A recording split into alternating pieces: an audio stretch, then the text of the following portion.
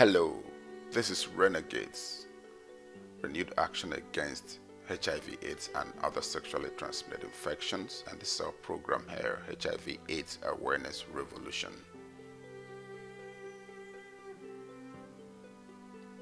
Today we'll be discussing herpes. What is herpes?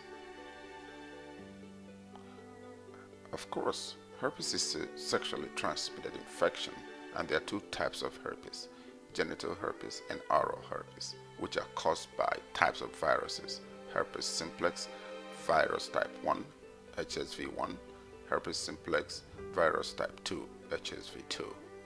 What is oral herpes? Oral herpes is usually caused by HSV1 and can result in cold sores, fever blisters on or around mouth. Most people with oral herpes show no symptoms. Also, most of them were infected during childhood or young adulthood from non-sexual contact with infected saliva. What is genital herpes? Genital herpes is a common STD the world over, but in the United States, one out of every six people aged 14 to 49 years have it. How is genital herpes spread? By having vaginal, anal, or oral sex with someone who has the disease.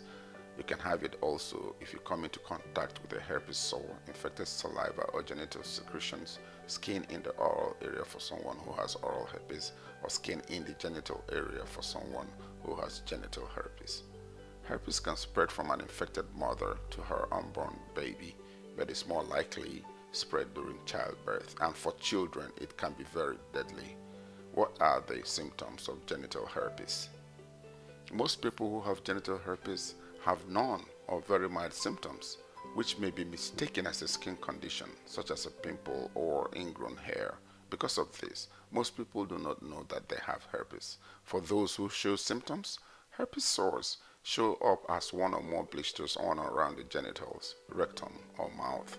The blisters break and leave painful sores that may take a week or more to heal.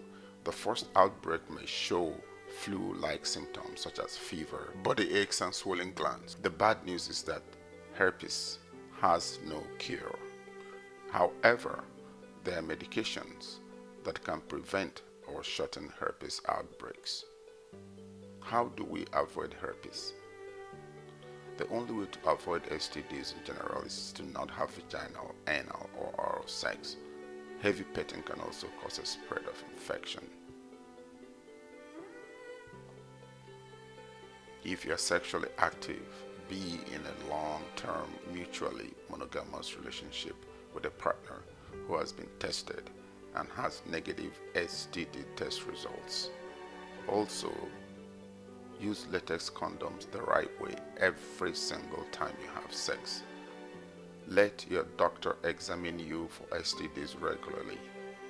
Also, if you notice any STD symptoms on you or your partner, please go to your doctor to be examined and diagnosed. Always remember, please remember that prevention is better than cure. For more information, go to the CDC site or go to renaghaids.org. Now that you have all the information on herpes, please tell the world. Spread the news to others. You can help save a lot of lives. Thanks for watching. I'll be seeing you again in the next episode.